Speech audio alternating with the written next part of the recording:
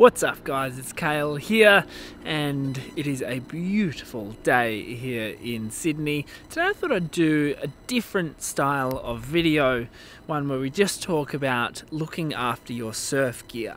Surfing is one of those sports that can be expensive if you don't look after your stuff. And after getting insanely barreled for the last couple of days,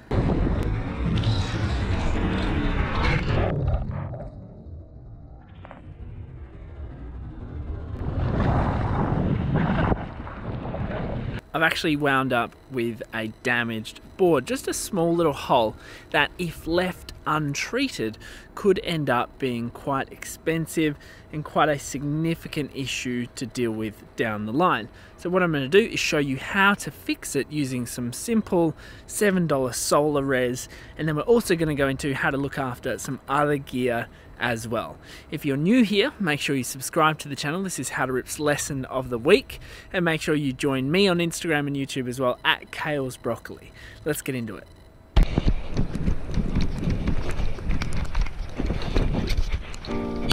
These are the days that I live for.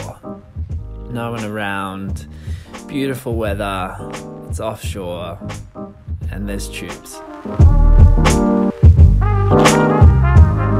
Thank you.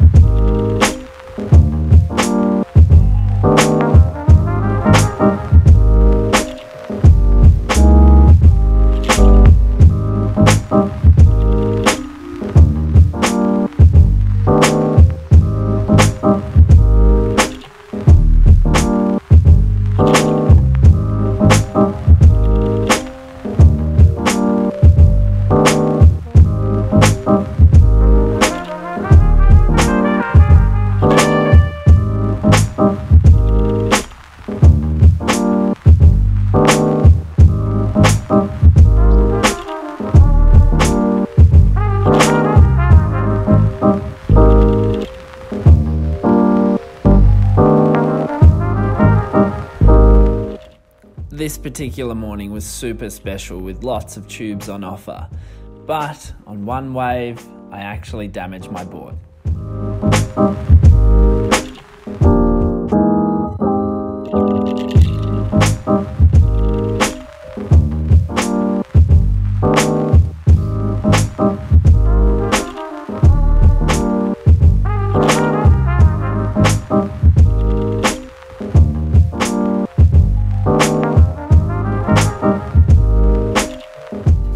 Boards is always a little bit tricky on your own. The main consideration that I personally have is, is this board, is this ding worth paying 70 to $100 to go get fixed professionally, or is it something small that I can actually handle myself?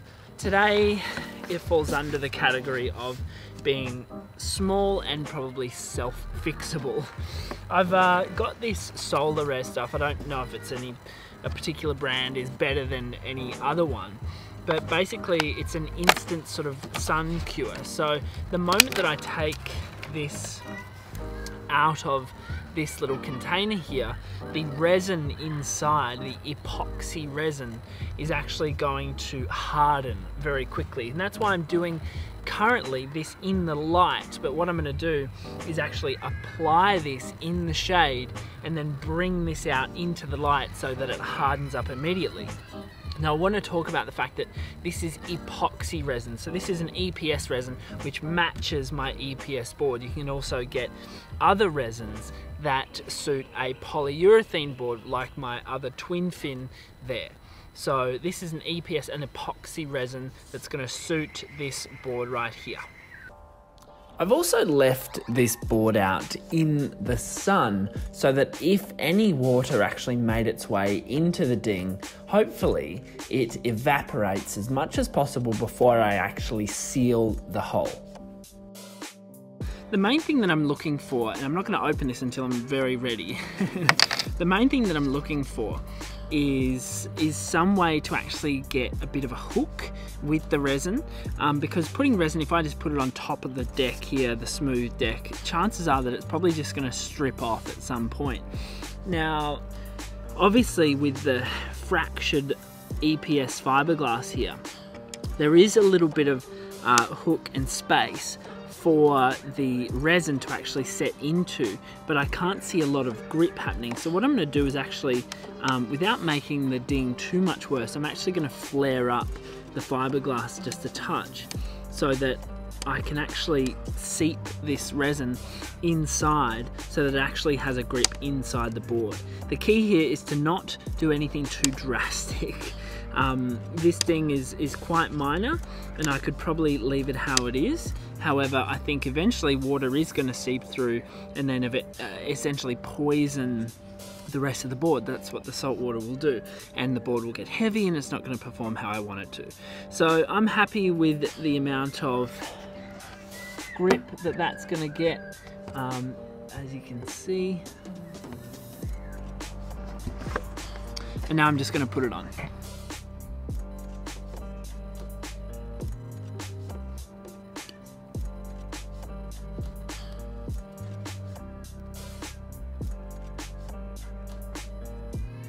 Now you notice that I'm actually trying to smoothen out the resin. I've used a little bit too much, so I'll scrape that off. Having a little paddle pop stick uh, is super handy in this moment here.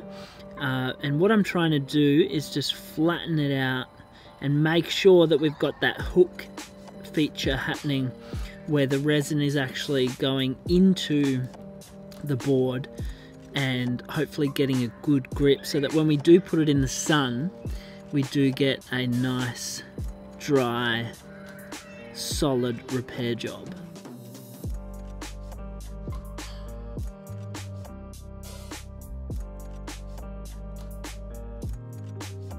Okay, I'm pretty happy with that.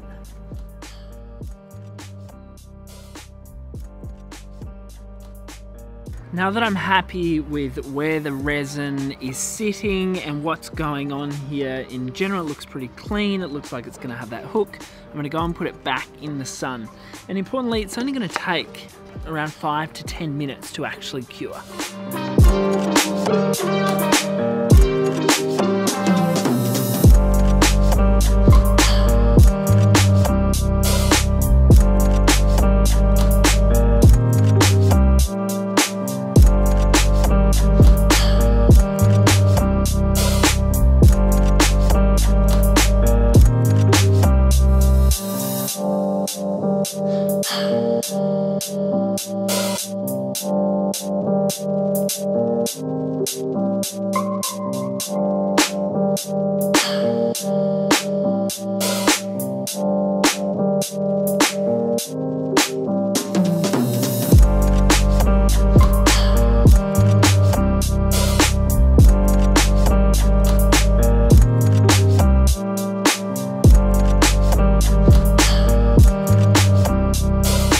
One of the trickiest repair jobs there is to do is anything to do with fins and fin plugs. Fins tend to be quite delicate and they they tend to be quite unforgiving. So if you do damage your fins, if you rip one out and out comes the fin box, don't try and just solar res it back in. The best thing you can do is take it to an expert, replace the whole system. And remember, not every ding needs to be fixed. The only dings that need to be fixed are ones where it actually breaks open the fiberglass and then makes the inside of the board vulnerable and exposed to salt water and air that's going to essentially oxidize. I don't even know if that's the correct term for it, but it's going to compromise the quality of the material and then that will subsequently compromise the quality of the performance possible on that surfboard. Be alright. I know someday we could finally be friends. With a risk of falling Falling in love again. And I feel now it is time to let you go. Without hesitation Let's talk about putting your board on roof racks. Roof racks can be super helpful when you're carrying lots of boards or you've got people in the car with you. The key though is to keep the board flat and make sure the fins are obviously not going to scrape the car. When it comes to tying down the board, use a strap that has a flat buckle. Any sort of ridges or large shapes in the buckle can damage the board. So you want to make sure it's nice and flush against the board. Tie it down and then close the ropes inside the car door or tie them up. For extra safety, you can put your board in a board cover before putting them on the racks.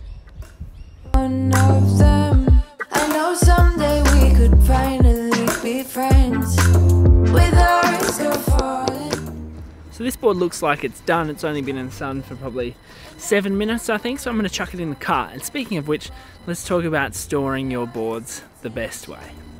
Storing your boards in the car means exposing them to a lack of airflow and sometimes some intense heat. So it's important to number one, protect your seats with something like this old board cover, and also to try and get shaded spots for the boards. If I can see that they're in the shade, they're generally pretty okay. To avoid getting wax in different places, I'll make sure that the bottom of both boards always face each other. Always store your leg rope straight and not in a wrap position, otherwise you'll end up finding that it gets caught around your legs whilst you're surfing.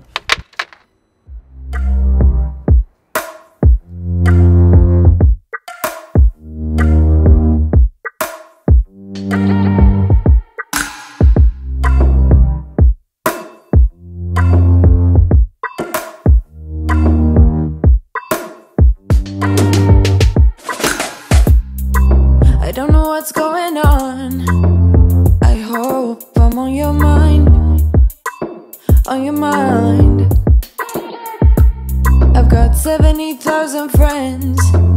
So I guess they'll be alright. Be alright.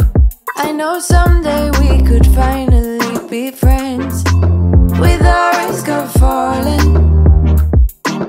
Falling in love again. And I feel now it is time to let you go. Without hesitation. Well, I hope that helped you out, guys.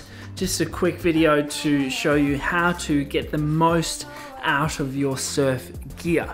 Like I said earlier, it can be an expensive sport, and making sure that our gear lasts a long time not only saves you money, but also protects those special boards that we get our hands on that we want to keep in excellent condition. And make sure you check out all the links in the bio below to get your hands on some of our favorite gear. And be sure to join me on Instagram and YouTube at Kales Broccoli. And make sure while you're here you subscribe hit the notification button so you don't miss any important videos. Hit the like button and comment below and let us know what else you want to see. I'm gonna chill today. The sun's out obviously i think i'm gonna have to get back in the water. I'm tube hungry this week so i really want to get back out there. Thanks so much for tuning in. Really appreciate you guys being here. Thanks so much for helping us hit 50000 subscribers. What? It's absolutely unreal. Thanks guys tuning out. See you later